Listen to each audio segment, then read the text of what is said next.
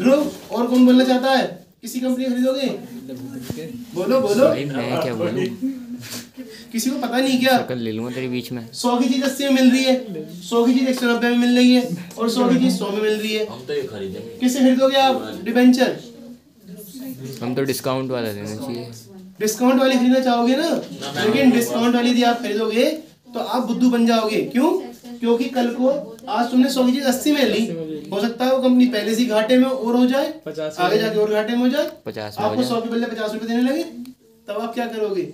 मेरी कंपनी की श्योरिटी तो है कि यदि एक सौ नब्बे में बिक रहा है तो कल को भैया हो सकता है डेढ़ सौ रुपए तो मिले ही मिले। यानी कि कंपनी ब्रांडेड जो होती है वो प्रीमियम देख के काम करती है। बात समझ आ गई? रिडेम्पशन का प्रीमियम क्या होता हैं?